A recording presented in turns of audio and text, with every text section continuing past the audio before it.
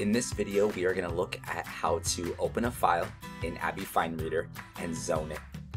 The first thing I'm going to do is select the Open in OCR Editor button. Then I'm going to find the file I want to open. The file will then process in Abbyy, and we can view the content in the text panel. That's this spot indicated here. Let me zoom out a little bit and it's saying the page was not recognized. So I'm gonna go ahead and try to recognize it again go, and now it looks like the content was recognized. So I have a few different options for my zoning areas. This is just a one page infographic.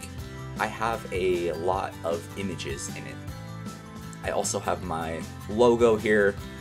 So I have logo, text, text, image, and in the preview window on the right, I just want to verify that the content is coming through appropriately.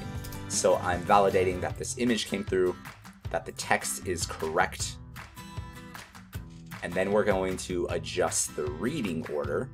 Um, it looks like there's actually a little bit of a problem on this one. So I'm going to select my picture area tool and drag a box around this content as it is an image. The other text came through fine, and we have another image down here that I need to mark as an image. And then finally one more. Now, once I set all the zones properly, uh, I'm actually going to recognize the page once more. This will ensure that the zones that I drew uh, are correctly identifying the content. And then let's also adjust the reading order.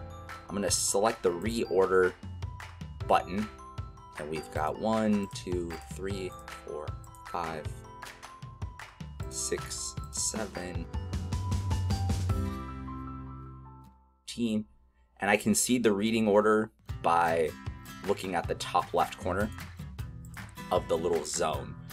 And sometimes it gets out of order. Once we validate that the information is correct in the preview window, we can go ahead and export this file out.